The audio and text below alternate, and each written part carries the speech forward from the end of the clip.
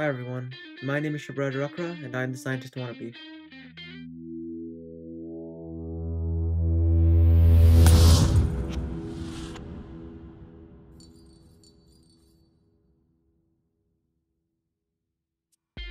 Today I'm starting a new playlist called 10 Scientific Discoveries and Inventions Throughout Time. The playlist will include 10 scientific discoveries or invention of a certain time period. Each video topic will be split into part 1 and part 2. As you may have already guessed, part 1 will include the first 5, and part 2 will include the following 5. For this video and the following video, we will be taking a look at 10 scientific discoveries and inventions of the Renaissance.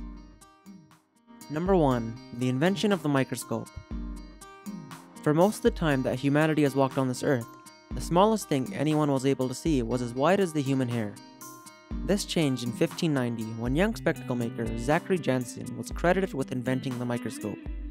However, him being credited is highly controversial considering that Zachary Jansen was only 10 years old in 1590. Number 2. The invention of the telescope. Space is the place that has made humanity curious of what there may be beyond our own planet. For thousands of years, space was studied by only what the naked eye offered. This was until 1608 when Dutch eyeglass maker Hans Lippershey became the first person to patent the telescope. Some say that Hans got the idea of making the telescope when he saw two children putting a concave and convex lens together to see a distant weather vane appear closer. The telescope has become one of humanity's most important invention. Number 3. Spontaneous generation being proven wrong.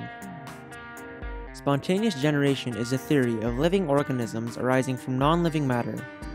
An example of this is maggots forming on an exposed piece of meat after a couple of days. For millennia, spontaneous generation was the accepted way for how life formed.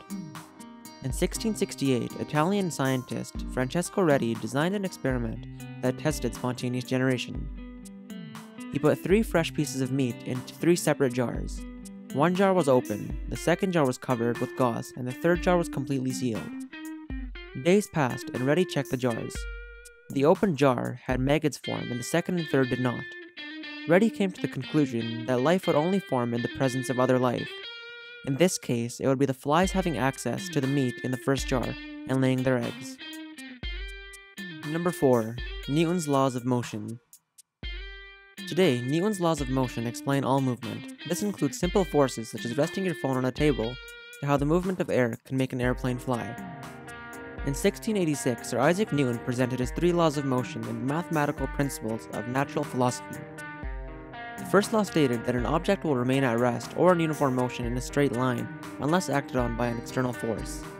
This law explains why rogue planets, or space rocks, will continue on non-stop unless acted on by a force such as gravitational force or an impact on another object. The second law states how velocity of an object can change when subjected by an external force. This law is defined by mass multiplied by velocity per change in time. This can also be expressed as force equals mass multiplied by acceleration. Newton's third law states that for every action, there is an equal and opposite force acting on it. For example, if we put a 2 kilogram textbook on a flat table, the book will have a downwards force. We can calculate this force by using the formula F equals ma from Newton's second law. Mass would be 2 kilograms, and the acceleration would be the acceleration due to gravity, which is 9.81 meters per second squared. The book's downward force would then be 19.62 newtons. Now, because the book is not moving and it is on a flat table, there is an opposite force that is acting on the book which holds the book up. This force would be the same force as gravity in the specific situation because we are dealing with a flat table and no movement. However, this would be an upward force acting on the book. This force is called normal force. It's kind of confusing to wrap your head around at first, but once you get it, it's not too hard. Number 5. The Cell Theory in the early 1660s, 26 year old Englishman Robert Hooke took the assignment of joining the Royal Society for Scientists. King Charles was the one who funded this, and he only asked scientists to study insects under a microscope. However, Hooke went above and beyond and looked at other materials such as cloth and metals. The amazing discovery came when he observed a slice of cork under a microscope with a 50 times magnification.